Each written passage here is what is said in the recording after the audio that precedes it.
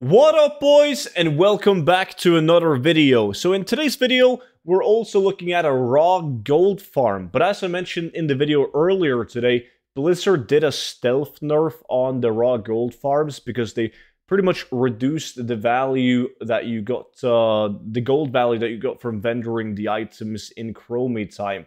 But you can still do a lot of great gold farms where you combine a decent amount of raw gold with also a chance at getting some big ticket items. And that's what this video is about. And i got a couple of these videos lined up so make sure you subscribe to the youtube channel and that way you'll be notified whenever i upload videos right and big thank you once again to everyone the last couple of weeks that has picked up the 0 to 10 million gold guide the support has been insane and i'm so glad that you guys are liking the updates. And that's the key part about the book. Not only does it feature all of the best gold farms that I personally use in order to achieve multiple gold caps, but it also comes with a lifetime of free updates. So the people that bought this book back in BFA are still getting the Dragonflight updates, and so will you.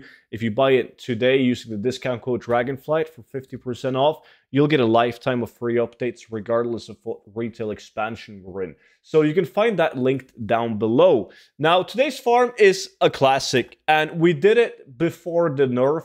So you guys can take a look at it right here. It is the infamous Silithus farm, which look at the amount of mobs you're killing. It is absolutely insane. So Tenetic made me aware of this farm, saying that he made over 20,000 gold an hour in raw gold. So that's just in uh, picking up raw gold from the mobs and vendoring items. And he was right. It did net us over 20,000 gold raw an hour, like per tune, not in total, but per character, got over 20,000 gold raw. So the reason why this farm is still good today, like it shouldn't give you 20k now because of the reduced vendor price, but you're still looking at a solid uh, like 10 to 12,000 gold an hour raw. And uh, on top of that, you can get some extremely expensive transmog items doing this farm.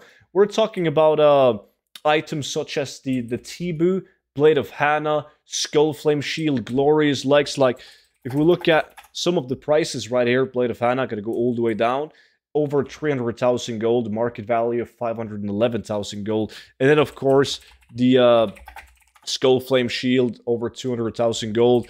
We have the OG Tibu at 300,000 gold. Like, there's so much potential on this gold farm. So, right now, before Dragonflight comes out, obviously, I consider this to be a very solid gold farms because raw gold, everyone loves raw gold. Collectibles are really good right now because they don't go on the uh, region-wide auction house. So the location of the farm, if you haven't done Silithus farm before, takes place right here at the Twilight base camp. It is important to notice though, if you uh, go into Silithus, you can be faced over to the uh, the BFA uh, Silithus, and if that's the case, if you don't see Silithus like it is right now, you got to talk to Zidormi all the way at top at the zone to face back to the OG Silithus. Now, when we pulled the numbers that we did, we did do it in a 2 times 4 group and not a 5-man group. Can be done in a 5-man group as well, but it's just better in a 2 times 4 group.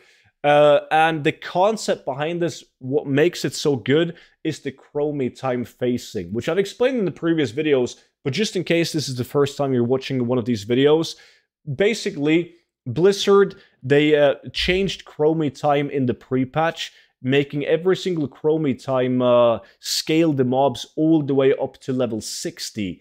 Now, what that change did was the fact that not only does the mob scale to 60, but when you kill them, they drop uh, like level 60 loot as well. And level 60 loot they will vendor for way more gold than uh, level 30 loot. And so does, uh, like, the, the green items, they scale up to 60. Gray items have the same uh, 60 vendor value.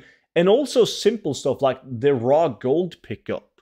That, that's also scaled up. So you get like 80, 100 gold each time you loot a pile of mobs. So it is really good raw gold. But in order to do this, you need to have a tune that's below level 60 because on a level 60 you can't enter Chromie time. So you invite the dude that's lower than level 60 and he joins any Chromie time. Doesn't matter which Chromie timeline he joins in.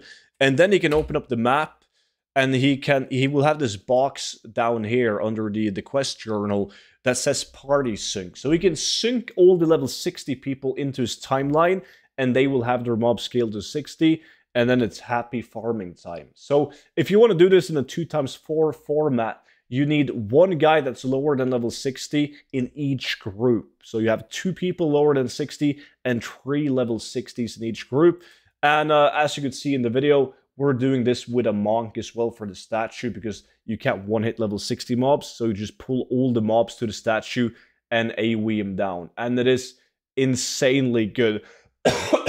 it really is. So if there's any questions whatsoever, just leave them down below in the comment section. And as I said, even with the stealth nerf that they did to the reduced gold on vendoring, there is going to be a couple of farms out there that I've lined up that is still performing really well. So make sure you are subscribed to the YouTube channel to catch those. And of course, you can always take a look at the 0 to 10 million gold guide if you haven't bought it yet. But that's it for today's video. So thank you all so much for watching, and I will see you all back in at tomorrow's video. But until then, bye-bye.